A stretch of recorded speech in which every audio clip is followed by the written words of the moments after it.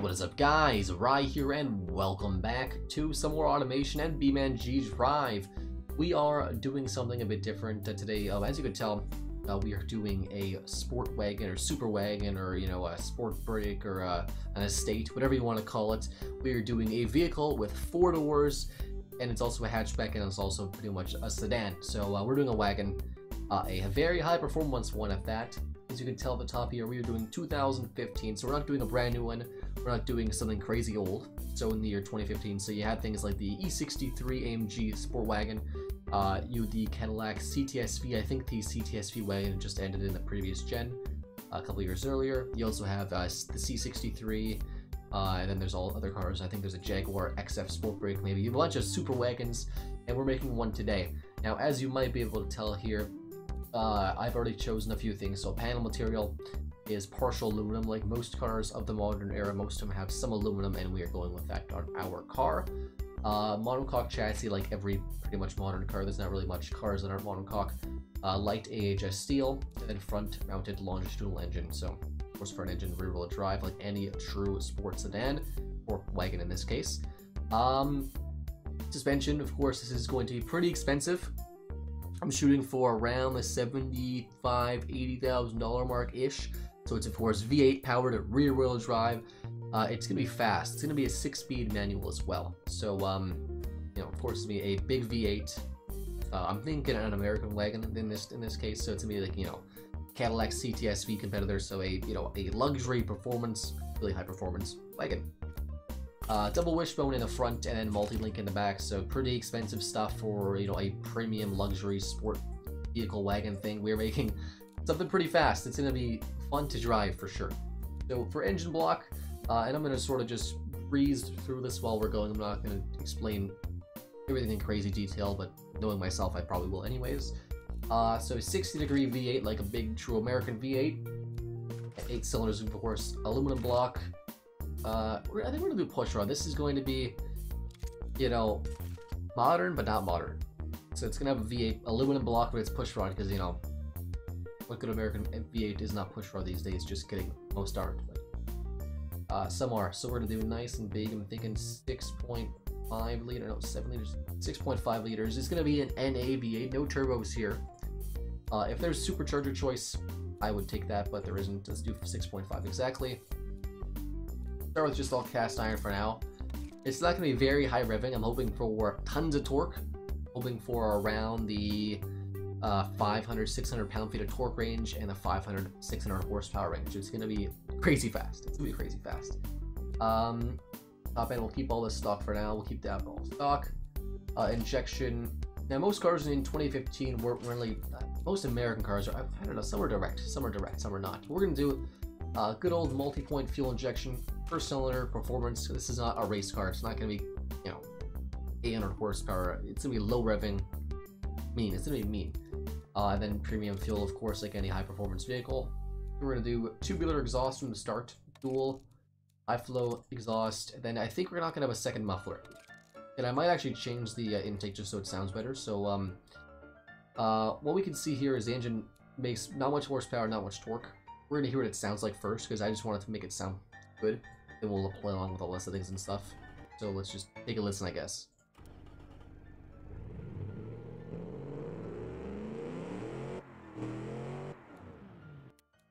Sounds pretty good, but what if we just change to standard intake to make a bit of a difference in the exhaust?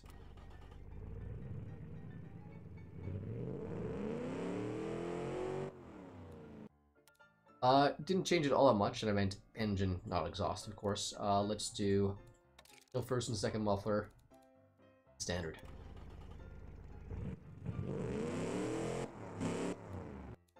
Honestly, still kind of just crazy aggressive. Let's just try standard exhaust and all straight through mufflers. Much more sedated, but it's still loud, you know? It's just so loud.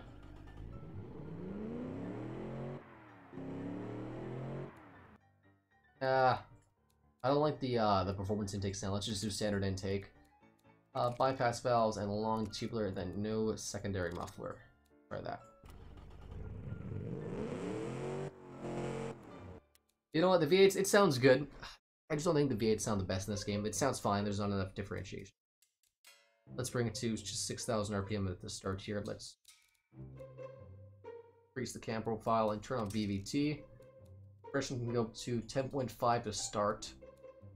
And then fuel mixtures. Need bigger exhaust probably. Yep. 0.5 right here. It's up to the max. I don't care if this thing gets terrible gas mileage. I'm hoping for like 15. This is a you know high performance vehicle, obviously. Uh, and we can go forged. 6,000 RPM. Let's go.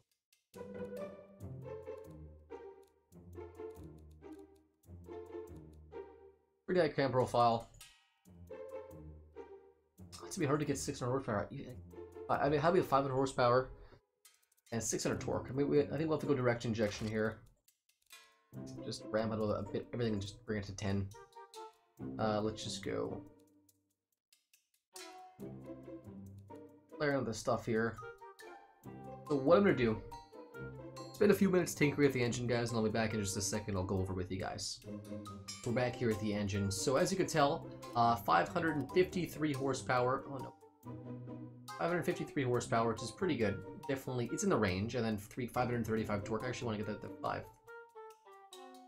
An even number. So 560 horse, because I, I, thought it was 555. Five, it's got to be even numbers, right? So 560 horse, 535 torque. It's a bit on the low side. I mean, I said 500 to 600, I guess, so I wanted more torque than horse, but um, what I did to the engine, up the fuel mixture, just to, actually, I think I lowered it actually just up the, uh, the compression by from 10.5 to 12 to 1, which is incredibly high compression um, for lots of engines, especially for a big 6.5 liter V8. And I also had to change it from overhead, or push sorry, to dual overhead cam. And I did 5 valve, uh, I could do 4 valve and have a variable valve lift and stuff, but just more fun having 5 valves. It's just unique, you know, there's be something unique about the engine. So, um, as you can see here, I chose this body style. This is what we're doing for the uh, the wagon. I mean, it's considered a wagon too. This is a wagon, just a long hatchback. I don't know. just do this. Is that a wagon? I guess, I guess it's not. Uh, so yeah, we're doing this wagon body here. Um, of course, I'll design and stuff in a time lapse after we go through all this stuff here.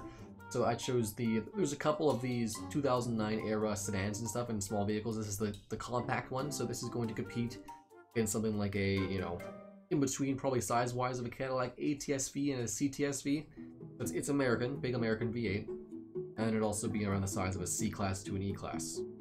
You know, it's, it's in the middle. It's not going to be too big, not going to be too small. It's going to be sporty. So let's go through here, things like drivetrain stuff. So rear wheel drive, manual, six speed, maybe a seven speed, because good old American.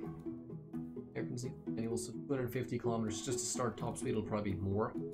Keep all that stock. Let's have a um, limited slip diff, and basic radial sports, of course. And uh, I'm gonna increase the width. It's not white. 75 is.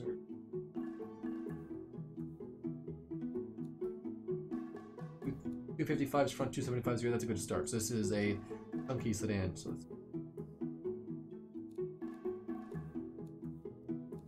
Nineteen inch, big meaty. There you go. So chunky tires, 19 inches. Yeah, pretty standard. Alloy wheels just to start. I might go magnesium if I'm feeling, you know, if I have some budget left over. Vented discs, four piston, biggest size for now, and uh, two piston, biggest size just to start off. We'll play around with that later. Uh, let's just do fully clad and cooling flaps. So the reason for this, of course, is uh, although it's a big V8 and it's a performance vehicle, I want to have a realistic-ish fuel economy. I don't want to have seven miles per gallon because that's that's, that's not happening with any car. Uh, seats five still obviously sports, and we're gonna have just standard infotainment. Um, variable hydraulic because electric's too it's too expensive. Right? No American vehicle has electric. Fancy. Launch control, of course, and best safety, like always. Um, standards or progressive springs, semi-active and active. So let's have some advanced, cheaper suspensions. Having more expensive advanced suspension. Let's just do tune for sport. Six inch ground clearance, a little higher, maybe 7.7. So, before we go and do some fine tuning for the car and the time lapse I'm gonna have, uh, we'll, we'll just look at some big stats here. So right now the top speed is 250. Actually, let's play with that.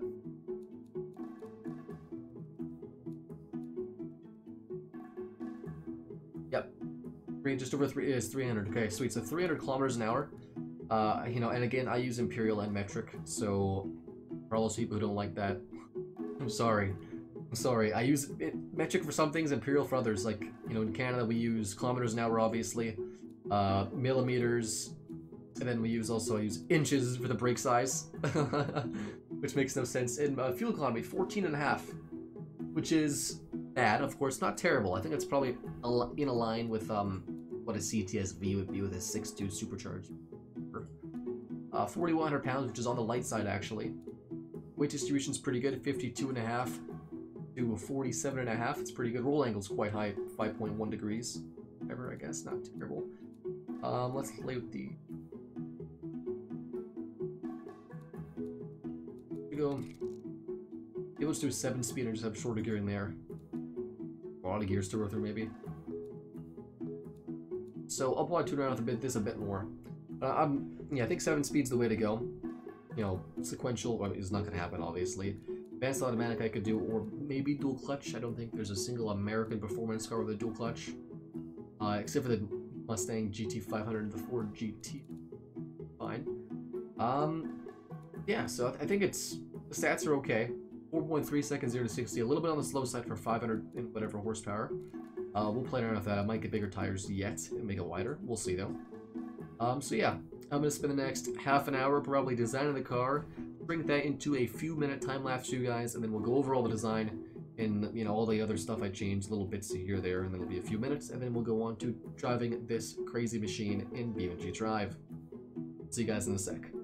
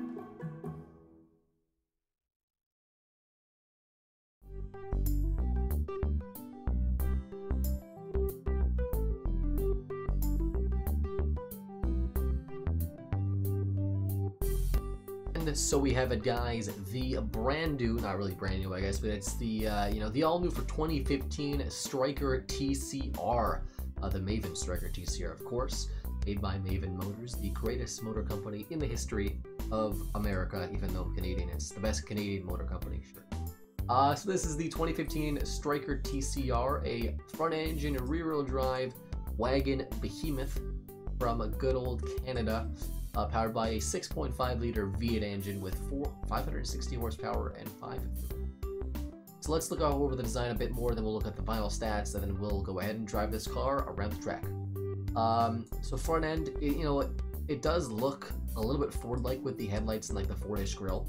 Um, you know, I wasn't going for it just sort of happened. I wanted to use these taillights with the headlights, and everything is sort of just, you know, rolled into place. Um, you know, I think it looks like a really, really angry, almost a Mustang and a, not a, you know, it's a Mustang and a Ford uh, uh, Fusion, that's what it is. Yeah, Ford Fusion and Ford Mustang maybe.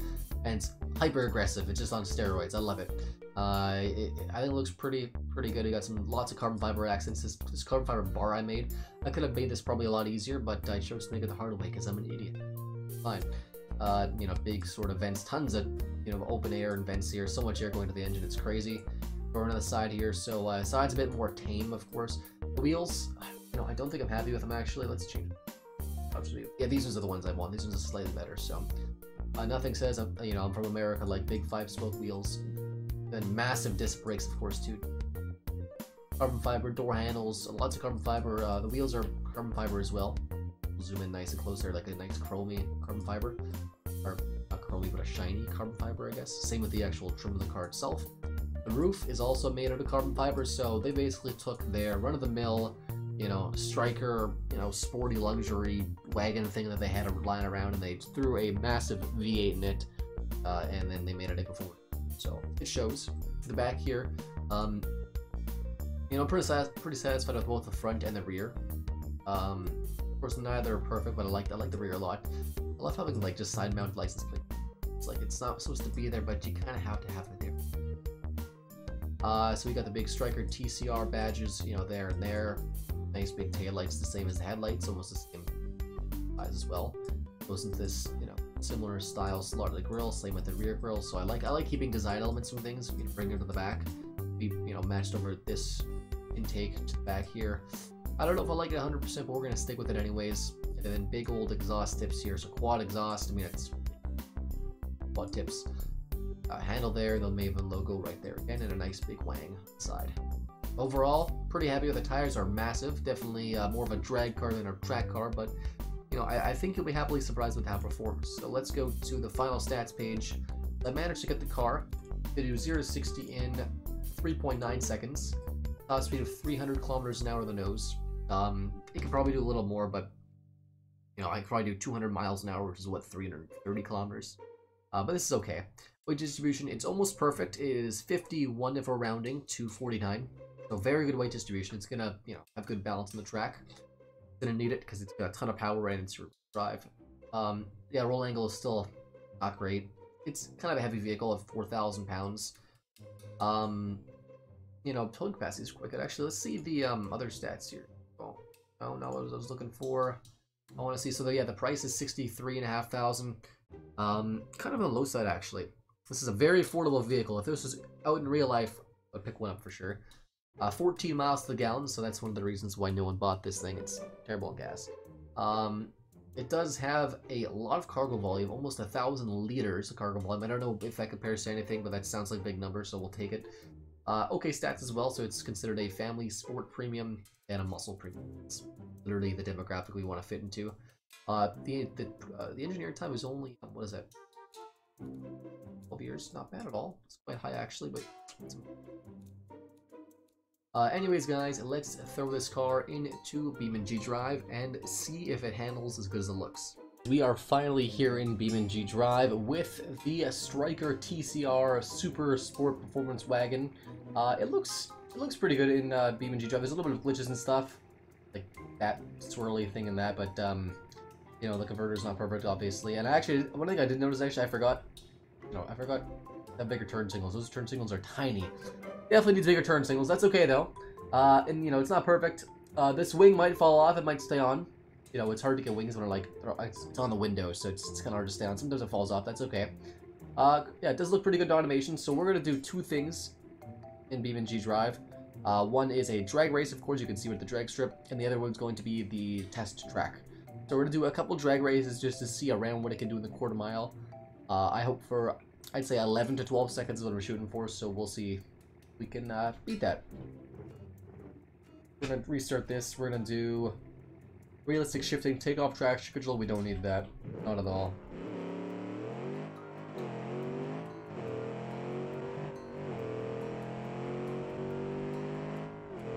Not bad.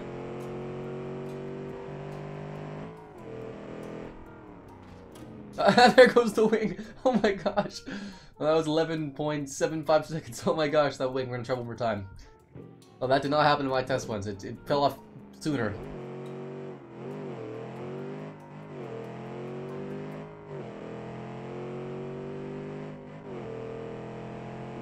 Come on. Just keep going straight. 11.6. There it goes again. It does not like high speed at all. We're losing all of our downforce there. That's okay. 11.5-ish seconds. 11 and 3 quarters seconds, we'll just say. Which is pretty good. Now I will uh, jump to the test track. We'll take it for a loop around the track and see how it handles. See you guys there in just a sec. I'm gonna take it nice and slow though. Not it's not a race, but uh, you know, comfortably we'll race pretty comfortably. We're gonna break. There it goes. The first corner, it's already gone. Oh wow, the back end does not like to stay straight at all. Oh yeah, it's, it's a sideways kind of vehicle. oh no. Oh, the suspension's super stiff. It's way too stiff, but that's okay. It likes to slide a lot. And brake.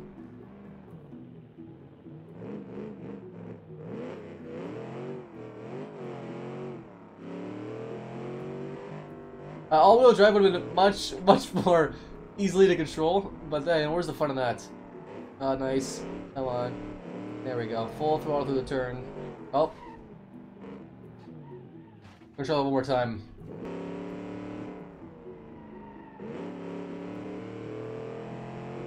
And full stop here. Down to the second.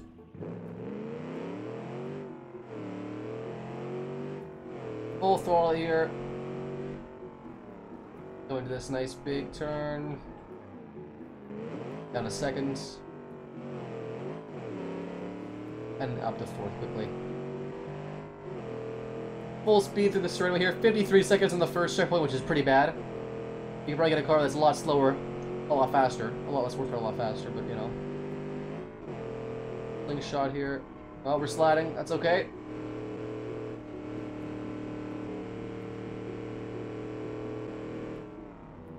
Break a bit early because we don't know what's happening here. Okay. Down to fourth. Third. And out of the turn, just accelerate. Oh, yeah, it handles... With the aids on, it's pretty, pretty, you know, tame, I guess. It still does likes to slide a lot. We're breaking way too late here. We're gonna slide.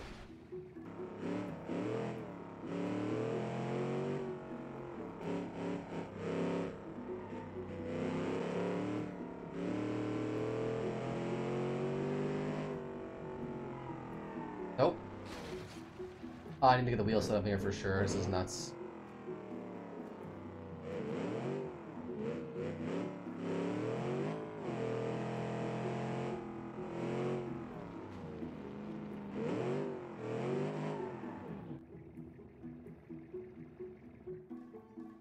Well, I think all we can do is just have a nice little scenic drive.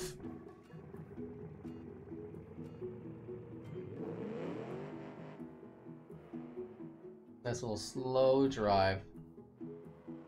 Wing falls off every time. Oh, we're turning way too late. That's okay. We're gonna make it. It's fine. That's fine. This is fine. There we go.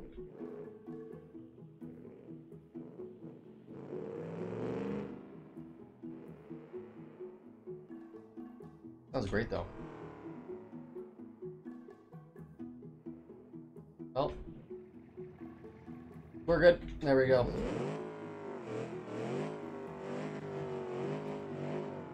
Nice indoor view of the vehicle. Very, very empty. That's okay. It's just a, just a prototype, obviously.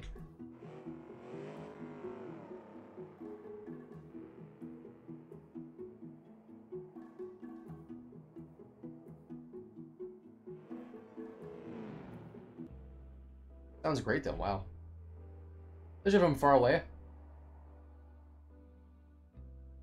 Oh, we're just hitting things like I can't. Pulling to the left so hard now.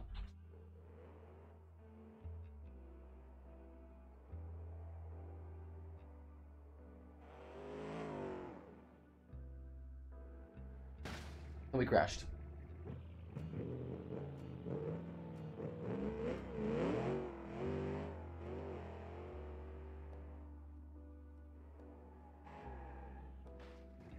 This vehicle is basically the Mustangs, you know, crashing into crashing into things of, sport wagons. Then again, I think you crash into anything when you launch a car at like you know six and a half thousand RPM.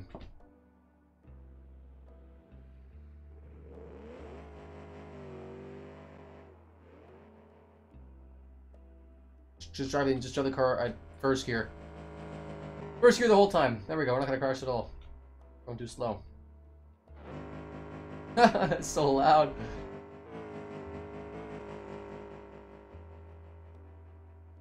Nice and slow. The engine's pretty tough and it's not even stressed out at all.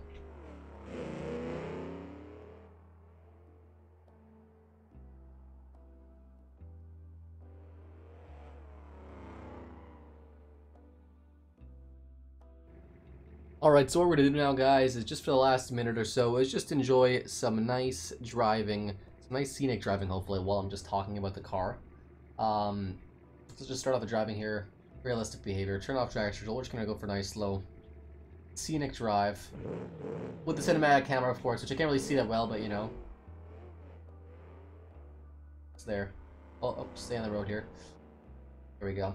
Um, so yeah, guys, let me know, you know, what kind of vehicles you want me to make. This is one of you guys recommended I make, uh, you know, a sport wagon. Uh, I hope it's up to your standards. It's definitely, you know, something I enjoyed making.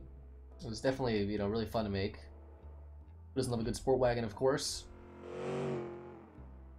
Uh, yes, leave a comment down below whatever vehicles you guys want me to do possibly next.